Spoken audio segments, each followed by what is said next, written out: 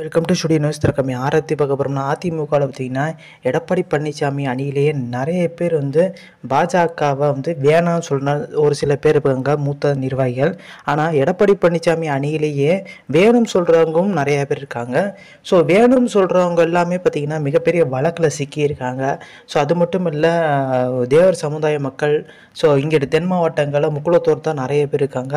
அவங்களோட ஆதரவு பெறணும்னு சொல்கிறக்காண்டி இந்த வாட்டி பசுமோனுக்கு வந்து எடப்பாடி பழனிசாமி வந்தாலுமே அந்த அந்த மக்கள் வந்து மிகப்பெரிய ஒரு கோவத்துக்கு இருக்காங்க.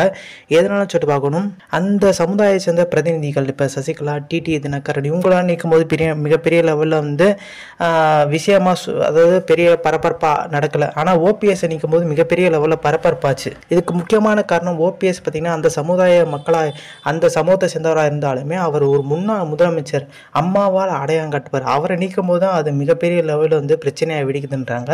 ஸோ இப்போ வர குரு பூஜைக்கு வந்து வந்து எடப்பாடி பழனிசாமிக்கு போனால் மிகப்பெரிய லெவலில் வந்து பிரச்சனைகள் வர்றதுக்கான வாய்ப்பு அதிகம்ன்றாங்க. ஸோ இந்த ஃபிலிம் ஷோ பிடிச்சா லைக் ஷேர் தேங்க்ஸ் ஃபார் வாட்சிங்